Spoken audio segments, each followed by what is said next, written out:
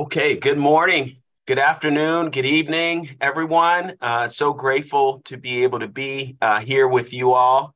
Um, and just uh, in case you didn't notice, uh, this class is actually Christian meditation. So uh, we're actually uh, practicing, learning about practicing meditation today. And we have the wonderful opportunity of being able to have with us uh, Dr. Tracy Jones. And I just wanted to share a few pieces of information about uh, Tracy. Uh, Tracy has been a disciple since 1996. She's a health, a mental health counselor. Uh, she's been a mental health counselor since 1997 and has her doctoral degree in, uh, from Liberty University. Her research areas include the use of Christian meditation as clinical intervention, she has provided mental health workshops for churches, presented at conferences, published research, worked as a clinician, clinical director, as well as an adjunct professor. She is a member of the executive leadership team at Crosspoint Clinical Services in Massachusetts. Tracy is currently enrolled in a program to become a certified spiritual director and helps to direct Sabbath and spiritual practices retreats. Tracy is married to her best friend, Tyrone, and has four children ages 11 to 25. So excited about today's class uh, and time that we have together. I'm going to open us up with a word of prayer and then turn it over to Tracy. Dear God, Heavenly Father, so grateful for this time that we have to really reflect and to grow um, more into the likeness of Jesus. Mm-hmm. So grateful for all the many ways in which you are shaping and molding us uh, now and will continue to do in 2023. Mm-hmm. Grateful to be able to learn about the spiritual practice of meditation. We pray, God, that you would really continue to use this time to really transform and change us more into the likeness of Christ. Thank you so mm-hmm. much for each and every individual here and their sacrifice to taking the time to draw near and draw closer to you. Mm. Pray and ask all these things in Jesus' name. Amen. Amen. Well, thank you everyone for being here. This is such an exciting day, and it's just been so warming for my heart to see so many people interested and just wanting to get closer to God and wanting to deepen and, and enrich uh, the way we move with God.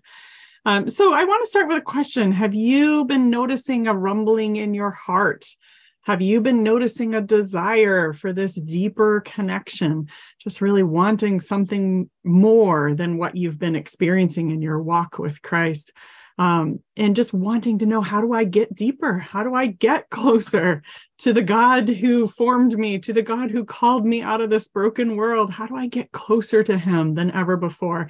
I've been a disciple for this year will be 27 years, and uh, I feel a lot like the Carrillos that I feel closer to God now than ever. Um, and each t- each time things get closer, I think, oh, I didn't think it could get closer, and here we are getting closer. And uh, it's such a great uh, experience uh, to just learn how to walk with him. And there's many missteps along the way and that's okay. We fall down and and god is the loving father that pulls us back up and says let me carry you. Let's get you back on solid ground. And we all need that sometimes and so we're going to spend this time, you know, it's really just a, a taste. We're going to get just a little taste of what Christian meditation is. Some of you may be very familiar and may have been practicing for decades, um, and other people may have never done this at all. And so I'm going to try to speak to that spectrum, um, but just to give uh, an introduction. This really is just meant to be an hors d'oeuvre. okay. Um, there's much, much more to the meal, and I hope that you will pursue that after this class. Um, but Christian meditation, meditation itself is a discipline. It's one of the spiritual disciplines. Um, it's a practice. So it takes practice in order for us to get good at it. It takes practice in order for us to learn more and more how to move in this way. I kind of think of all of the spiritual disciplines as movements with God, just ways that we move with Him, ways that we can be with Him. There's nothing magical about any of the spiritual disciplines. They are all just a cord that connect you to the source, but they aren't the source themselves. They just connect us to God. And so meditation is just one of many ways that we can connect to God. But I kind of think about it like when I go to the gym I don't know if you guys have ever had this experience, but I'll go and I'll work out and I'll really try hard. I'll put my whole heart into it for an hour and you know, then I'll come out and I look in the mirror and where are my my cut abs? Where'd they go? How come I could work that hard and I'm not just, you know, in the most amazing fit shape that I've ever been in because I really did put in a hard workout for that whole hour, right?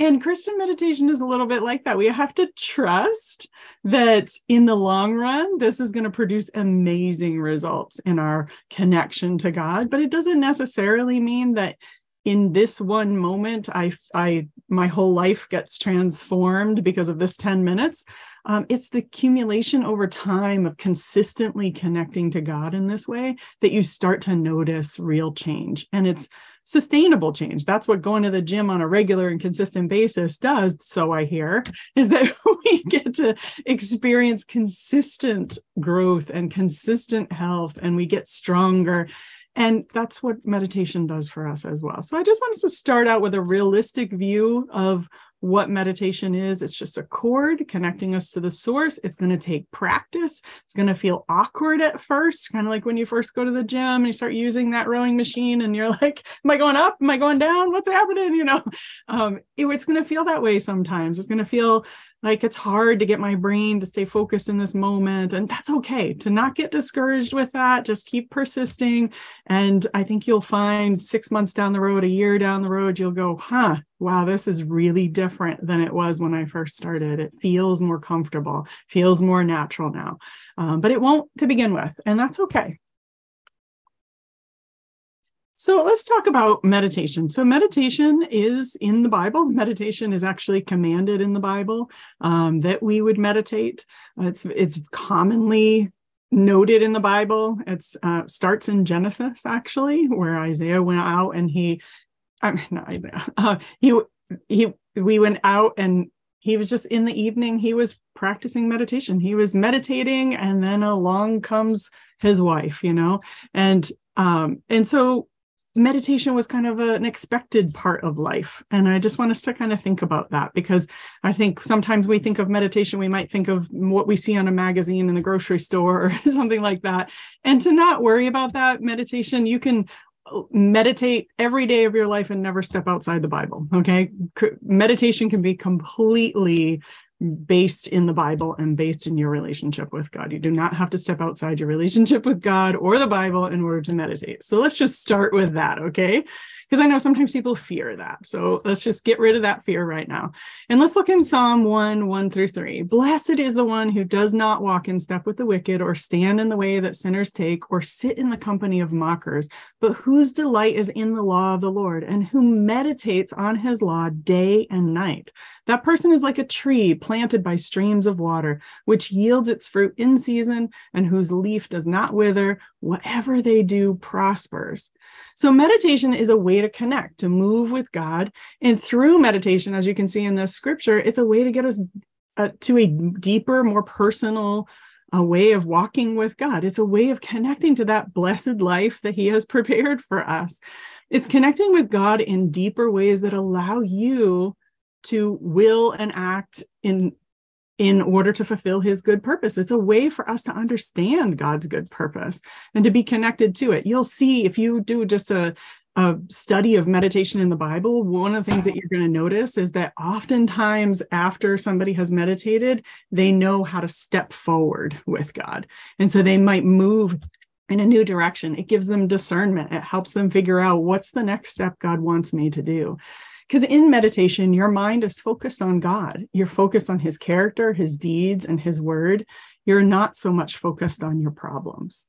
Oftentimes, we do meditate on our problems, right? We repeat them over and over and over and over again in our mind.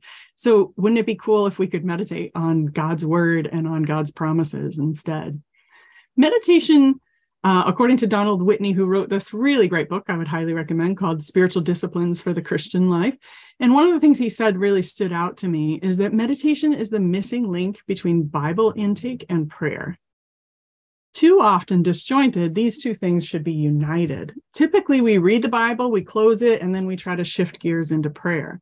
But in our brain, what's happening is that we're reading the Bible, which is often a very cognitive exercise. We're trying to understand it, we're trying to understand the context, we're really trying to you know you engage our minds to be able to understand what's what's happening in this scripture and how to connect to god through these words.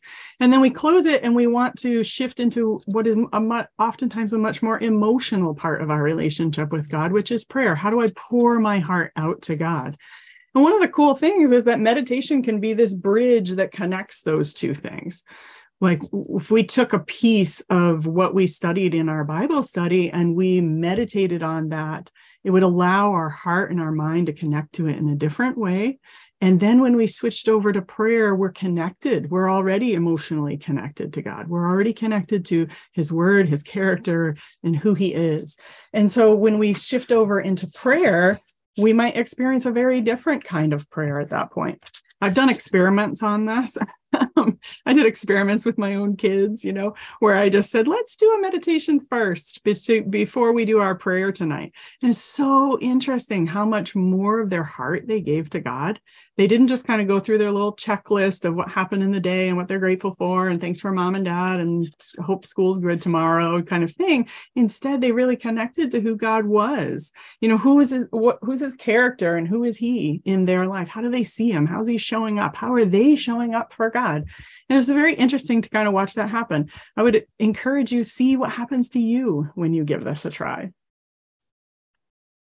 so how often and how long should i meditate this is just a little quote. It's not in the Bible, but you should sit in meditation for 20 minutes a day. Unless you're too busy, then you should sit for an hour.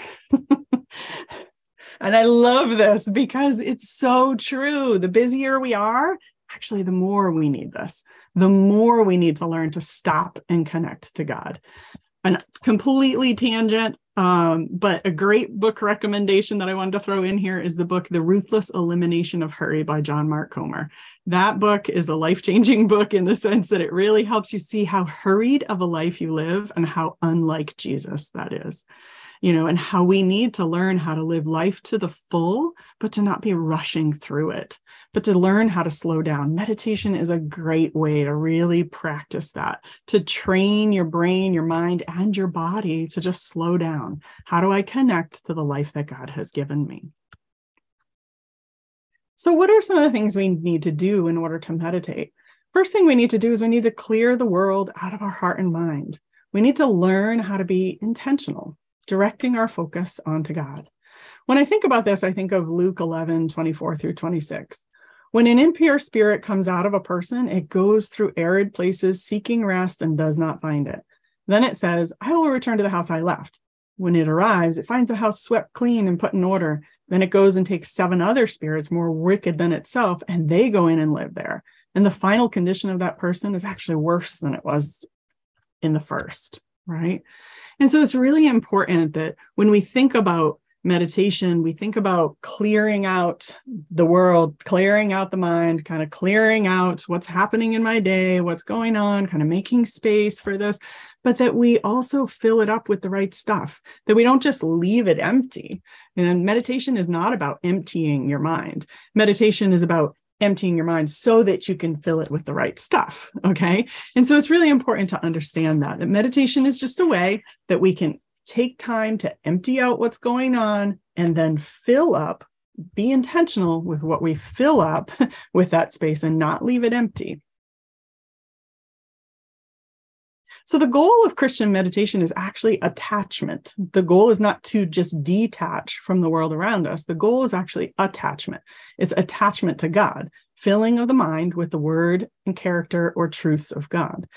In order to achieve this, though, we first need to disengage from those attachments in the world and then be intentional about putting in the right stuff. So, what's the right stuff? right? That's a good question. What's the right stuff? Philippians 4 8 gives us a clue. Finally, brothers and sisters, whatever is true, whatever is noble, whatever is right, whatever is pure, whatever is lovely, whatever is admirable, if anything is excellent or praiseworthy, think about or meditate on such things. And so the Bible kind of gives us a clue. What are we supposed to be focusing on? We are supposed to be focusing on these things that are solid, things that are steadfast, things that you know, you think about what all of these words are whatever's noble, whatever's right, pure, lovely, admirable. You know, they're not life's a bowl full of cherries kind of things. They're things we have to search out. We have to find the things that are noble. We have to find the things that are right and pure. And we have, those are solid things, things that we can stand on. So, what does meditation do for us? It's actually a vehicle for transformation. It increases our understanding, it helps us to heal, helps us to gain insight. Uh, when we contemplate and ponder and apply God's word, it actually moves God's word from this place in our brain to this place in our heart, which is a really important transformation, really important movement. Because if you think about it, there are lots of things that you know in your mind, and you even have studied them or you know something about them, but they're not things that you're going to live out, right? Because they're even hopefully there's even things we know that we know not to live out those things that we're purposely not living them out right? So just knowing something in our mind doesn't make it something that we live. And meditation is a is a tool to help that that truth of god and his character and who he is to take it from that place in our mind something that we know and put it into our heart something that we can actually live from right? And when we do that it helps us to love God with all of our heart, mind, and strength, right? So we're not just cognitively understanding God, but we're learning to live from a place of loving God. And as the Carrillo said earlier, Romans 12, 2, do not conform to the pattern of this world, but be transformed by the renewing of your mind. Then you will be able to test and approve what God's will is, his good, pleasing, and perfect will. If you're meditating on God's word, if you're transferring it from this amazing brain of ours to our heart, you are learning how to let that renew who you are renew how you think how you respond how you live how you how you look at people uh, because you're allowing the word to transform what's happening inside of you. And meditation facilitates this. So there are actually three words in the bible for meditation two in hebrew and one in greek. And what does it mean? So these different words for meditation uh, and I think one of the reasons uh, that their meditation is found in the Bible is that it was actually part of the culture around them too. It's part of Hebrew culture to meditate. It's part of the Greek culture to meditate. As a matter of fact, most cultures you will find some form of meditation is involved in that. So, what does meditate? So, meditate itself is not necessarily a religious term. Um, but what does it mean? It means to mutter, to ponder, to chew on the word, um, and to really kind of. I, I, think about it like I grew up on a dairy farm, so I think about it like the cows chewing on their cud, like they chew and chew and chew and chew and chew, right? And that's kind of what God wants us to do with His Word. He wants us to really chew and chew and chew on it, and really let ourselves slowly digest what this Word means and how do we apply it to our lives. So we're meant to dwell on scripture, not just kind of how many pages could I read today, but sometimes, you know, one of my very first disciples, she, I said to her, How often, how long should I spend in my quiet time each day? And she said, You know, when you do a quiet time, it's kind of like panning for gold. You just kind of pan until you find your nugget. And so sometimes you might read just a couple of lines of scripture and other times you might need to read whole books you know till you find that nugget that god wants you to park on for that day and i think meditation is a way to do that to find that nugget and to park on it. How do i dwell on this scripture? How do i ponder it? How do i contemplate it? How do i picture it? And take time to do that not just kind of read as much as I can, but how do I take time to let it sit with me so that I can store it in my heart? So I can claim God's promises and I can claim who God's character is. You see David do that over and over and over again. God, this is who you are, right? Because he meditated on who God is. And so he was able to talk to God about that. I know this is who you are. So I know that there's something else going on here than what I can see. So, what are the things the Bible tells us to meditate on? So it tells us to meditate on God's promises, his mighty deeds, his law, his unfailing love, his decrees and statutes, his precepts and ways, his wonderful works? How about meditating on Jesus, his character, how did he do it? How did he walk around with these guys? How did he do the things that he did, right? Meditate on who he is, meditate on what he's done. Just taking time to meditate on what is there in the Bible, not just know it cognitively, but allow yourself to invite it along to walk with you throughout your day, right?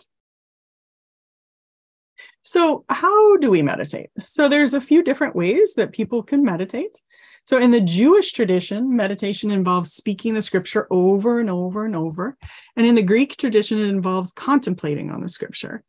Uh, both of these ways of meditating, they require, first of all, that we make space, space that we can be filled up with God's word, right? So if we're so busy and we're running around, it's really hard to have that space to put in God's word. I always think of it like if you want to add more to a cup, and the cup is already full whatever you're adding isn't is spilling over it's not staying in your cup so sometimes it's really important to just clear out some space okay so empty out some of what's in that cup so that you can fill it up with god's word. And i love this scripture in luke 5 16 jesus often withdrew to lonely places and prayed. If you go ahead and read that chapter, what you're going to find is that this scripture does not come when Jesus is having, you know, he's just kind of hanging out that day. And it was, you know, just a kind of lull of a day. And he was a little bit bored. So he withdrew to lonely places and prayed. This is a good time and no one's around me. So it's a good time for me to do this. No, it's in the middle of he was healing this one and crowds were around him and all this stuff's happening. And then it says Jesus often withdrew to lonely places and prayed. And then it comes back and it tells you more things that he did, right? So this is kind of in the middle of his busy life that he often withdrew to lonely places and prayed because when you're too busy to pray for 20 minutes, then it's a good day to pray for an hour. When you're too busy to meditate for 20 minutes, it's a good day to meditate for an hour, right? And Jesus practiced that. And I always go back to this scripture in my mind when my life gets full and I think, oh, I don't have enough time to do this. I always think, if Jesus needed to often withdraw and get time alone with God, I am all the more going to need that.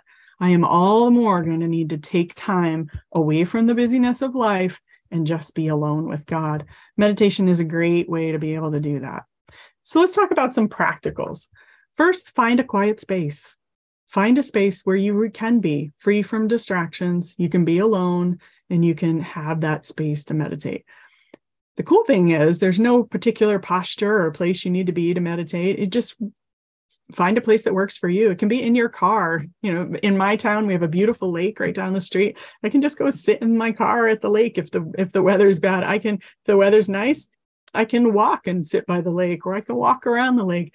And so you can be out in nature. You can be uh, going for a walk in your neighborhood. You can be in a corner of your house. You can be in a closet.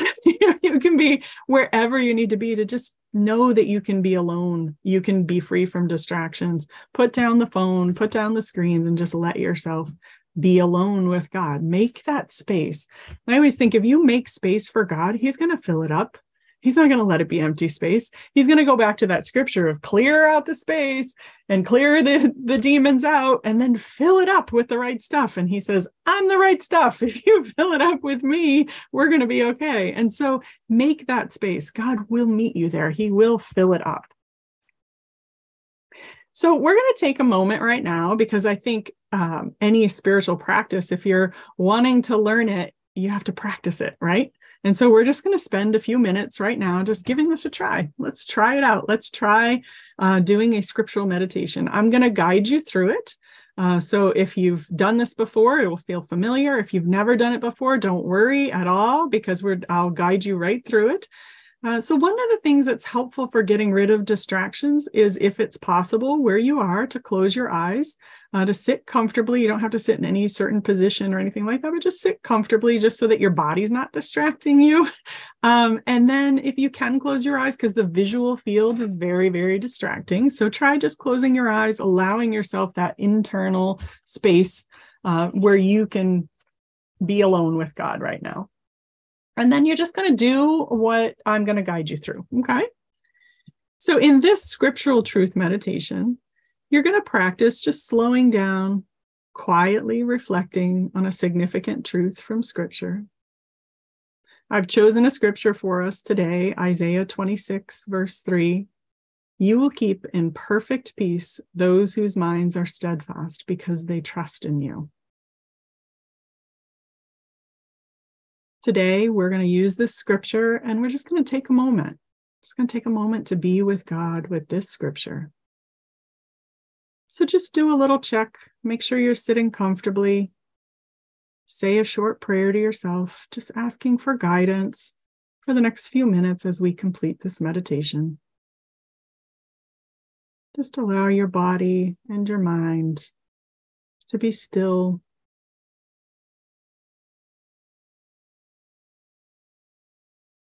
And if you haven't already, try closing your eyes if it's possible.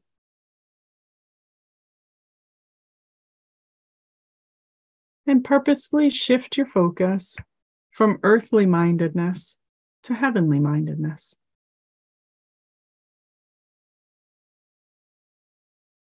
Letting go of rumination, letting go of worry, and pivoting toward a single point of focus. The short passage of scripture that we've chosen you will keep in perfect peace those whose minds are steadfast because they trust in you.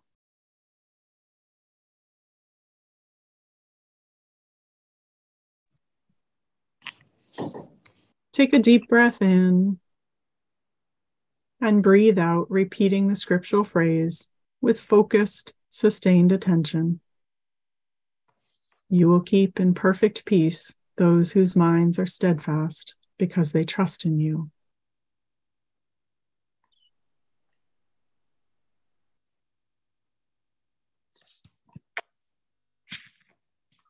If you need to, you can always do half the scripture in one breath and half in a second.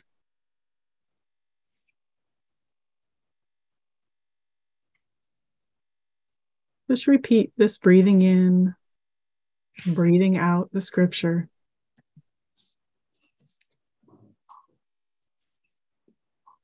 You will keep in perfect peace those whose minds are steadfast because they trust in you.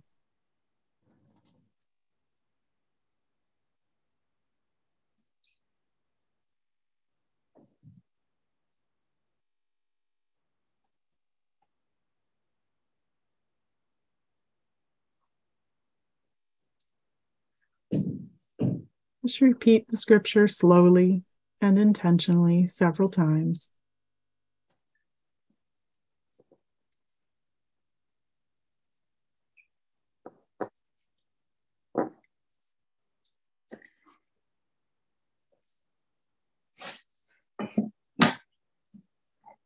Your mind will inevitably wander to something other than the verse you have selected.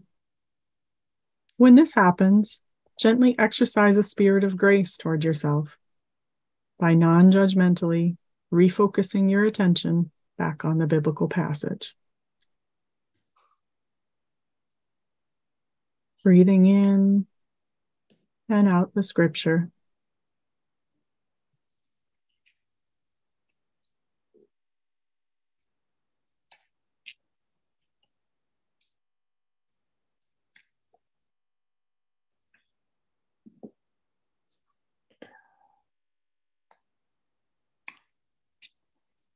Quietly reflect on the passage.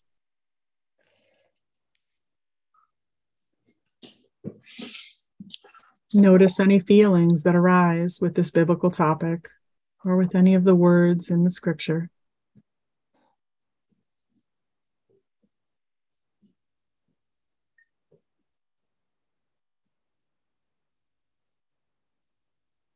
Ponder its meaning and how its message is expressed in your life as you move from your brain to your heart.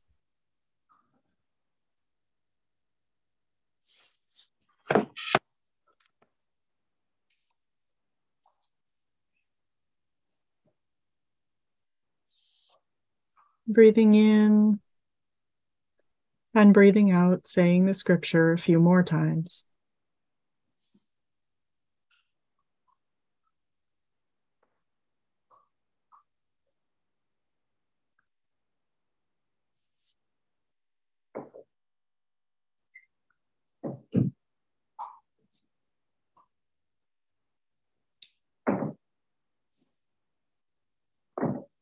Again, if your mind starts to wander, remember this is normal.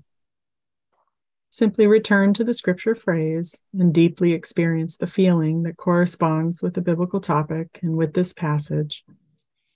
You will keep in perfect peace those whose minds are steadfast because they trust in you.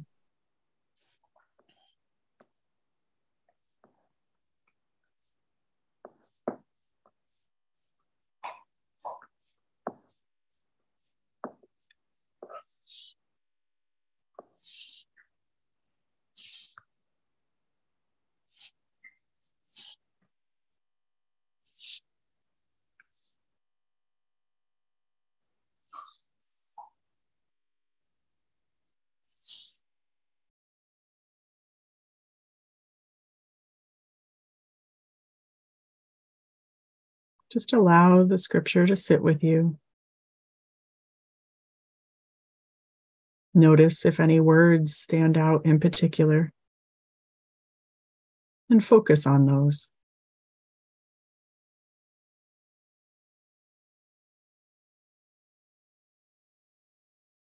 Allow the Holy Spirit to guide you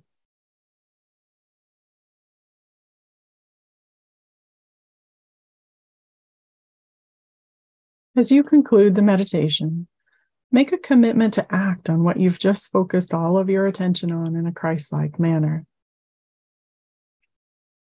Say a short prayer to God, thanking Him for revealing Himself to you through His Word, knowing it is always available to you. You can return to it at any point throughout your day by breathing in and saying the scripture as you breathe out.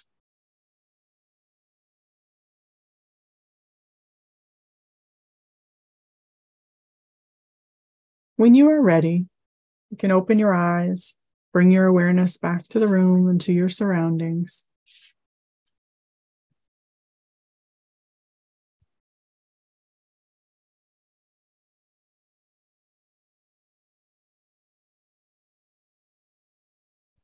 If you're with someone and they've fallen asleep, tap them back awake.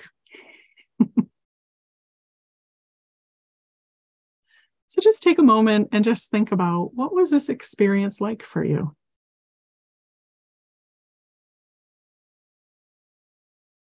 Was it what you expected? Was it different?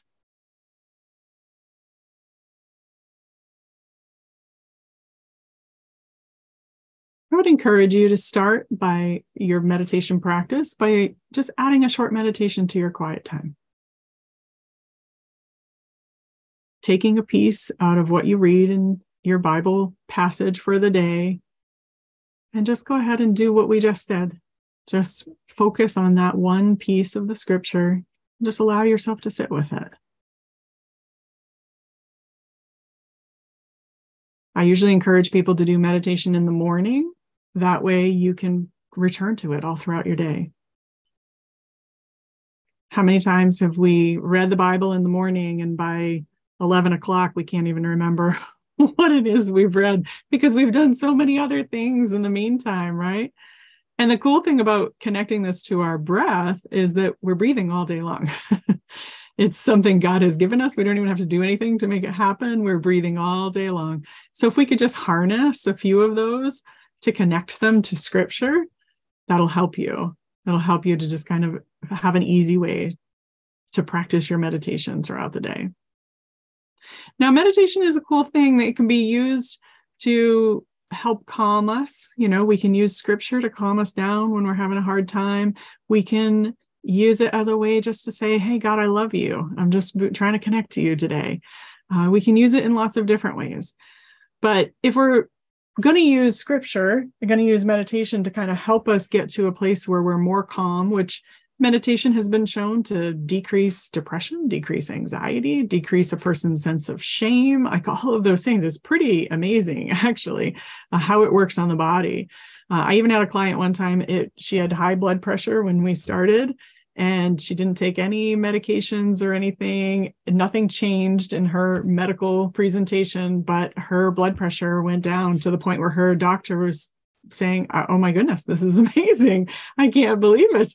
And the only thing she did different is we added in biblical meditation into her daily routine. And it really started changing even just how her body was reacting to the world. And I think that's a really interesting and uh, cool thing that God God connects us. God says everything about you is all connected. You're not all these little boxes, but you're completely integrated. You're completely connected. And when we start allowing God into that space, it changes everything about us.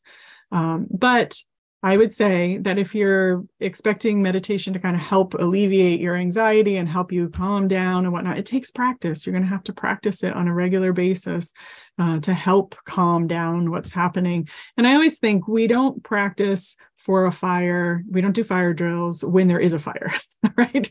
We do fire drills when there's no fire so that when there is a fire, we know exactly what to do. So if you're practicing meditation on a daily basis, then when something stressful does come up, you know exactly where to go. Your body knows where to go. Your body knows how to breathe. Your body knows how to allow scripture in. Your body knows how to do all of those things. And so practice as much as you can so that that it's right there and it's available to you.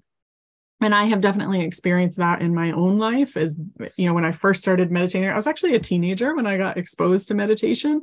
And i am one of those people that's like go go go go go do do do do do. That is definitely my character. And when i learned to meditate as a teenager i was just amazed. I thought i love this feeling. I would have never tried this on my own. This is amazing. And now you know decades later of practicing meditation it's so much easier for my my whole body. I sit in a certain place in my house where i do meditation and my whole body just goes oh yeah yeah yeah. That's right. This is where we are. Um, because if you practice your body starts to respond to that right? You you build up that habit in yourself. Um, and the other thing i just want to encourage you guys try using the same scripture for several days in a row uh, try using it for a week try even using it for a month you'll be amazed at how the different things you see in the scripture, the different ways that you connect it to yourself, the ways you connect it to your life when you start doing it day after day after day. Um, and I've always been amazed by that, that I'll start you know, the week with one scripture. And by the time I've been doing it for several days, I think, oh, I didn't even see that in the scripture when I first read it. And I've read the Bible many times and I didn't even notice that. But now that I've let it sit with me for a while, I've invited this scripture in and sat it down next to me and I've let it carry, you know, carried it with me throughout the day, throughout the week, throughout the month. I see very different things in it now. Um, and I have a different way to connect to God because of that scripture. And I see why that scripture is meant to be a cord to connect me to the source. Um, so try that, see what it does. You know, it's all just what works for you, but just see what it does. So just wanted to give you guys something. Um, I have the most boring YouTube channel in the world. Um, the only thing on it is meditations, um, but it's an easy way to be able to give it all to you guys. Um, and so you can scan this code or you can just look up the YouTube channel, Tracy Jones EDD, and both will get you to that. And uh, also, I wanted to put in there my email address. So if anybody has any questions or they um, any, want any further guidance, I'm definitely here, want to help, and um, am available. So class ends in five minutes. So we have five minutes, everybody, before the end of class. And if anybody has any questions in the next couple of minutes, I am happy to answer anything that I can. Thank you so much, Tracy. Really, really appreciate everything you've shared and the resources that you've provided. Just wanted to, in regards to questions, just wanted to ask if uh, if you could, if you are interested in getting your questions answered, please put them in the chat. That way, we can uh, we can look at the questions and then uh, funnel them uh, funnel them up uh, to Tracy to uh, to answer. So, um, with that, questions. Okay. looks like there's a question here. It says, Can you talk about your personal meditative practice? Sure. So I do um uh, sort of a Lectio Divina style meditation, usually in the morning. Um, and one of the other classes here today is on Lectio Divina. So I would definitely encourage you guys to check that out if you're interested in that. But it's a way to just kind of take a word or uh, a very small phrase and just really let yourself contemplate that, let yourself meditate on that. Um, and it can be long or short, um, depending on how much time you have. And I like to do that, uh, kind of start my day, just get myself connected. Just, okay, God, what's your spirit going to tell me today? Um, and I love that meditation is a way to remind me that God has given me his spirit, that I don't have to figure out any of these things on my own, that it's his spirit that can guide me. And so, uh, meditation really for me is a way to connect to that, to remind myself of that, and to really just watch the spirit work. I've I tell you, most days I am amazed at what comes out of that little meditation first thing in the morning. Um, and then I have bigger meditation practices that I do too, like contemplative meditation practices, where you really just kind of spend time contemplating on um, a, a longer passage, or you spend time just contemplating on the word or part of who God is, like just contemplating. The other day, I spent some time just contemplating and meditating on loving kindness. And what does that mean that God has loving kindness? And what does it mean for my life? And what does it mean if I could learn to be a person of loving kindness? What would that look like in the lives of the people around me? And just kind of taking that time to meditate on those things. So I feel like daily is a great way to even if you can only do five minutes a day to do five minutes a day for now. And then you can always increase it as you move forward. But get start with a pace and a rhythm that feels like you could sustain that for right now um, so that you can add to it. Think about it like you're building a foundation and then you're going to build on that foundation. Okay. So if I go to the gym, I'm not going to the gym for three hours and expecting myself that I'm going to be able to do that every day. Right. But if I can go to the gym for 20 minutes, then that's great. I just start that there and I can always build from there. But if I try to do too much too fast, then I'm not going to sustain it. So whatever you can do, five minutes is a great place to start, to be honest, and then move it to 10 and then move it to 15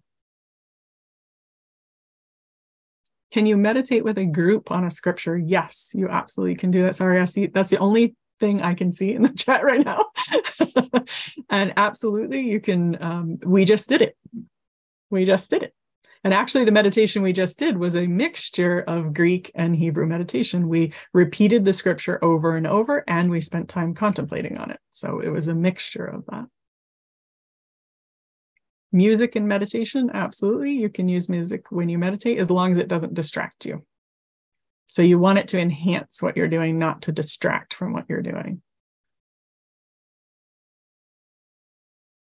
So sometimes I listen to um, Joshua Aaron is a Hebrew Christian uh, songwriter and performer and whatnot. And one of the things I like is if I listen to his songs in Hebrew, I actually don't know what the words are. so I can listen to the music without um, it interrupting or distracting me.